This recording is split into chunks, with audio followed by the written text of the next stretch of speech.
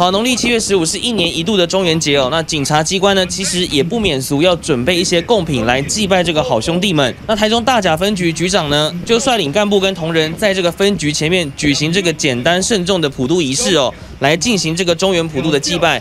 那比较特别的是呢，桌上的贡品呢是有别于一般人哦，是出现了这个花生酱、泡泡剂跟这个炸酱面，那来当做贡品祭拜。原来呢，一问之下才知道是取这个谐音，包括说这个发生酱，希望说这个治安以及这个车祸呢能够来下降哦。那另外呢，这个破补子也是取这个谐音破不止啦。那如果发生事情，希望呢能够顺利破案。那最后呢，这个炸酱面则是希望说能够阻炸成功哦。让我们听一下警方怎么说。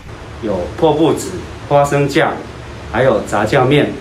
那取其谐音，最最最主要是希望各类刑案能够发生速降，案件能够侦迅速侦破。好，其实大甲分局里面呢，辖区就有这个镇澜宫，可以说是香火鼎盛哦。那其实民众呢，对于这个信仰是非常的虔诚哦。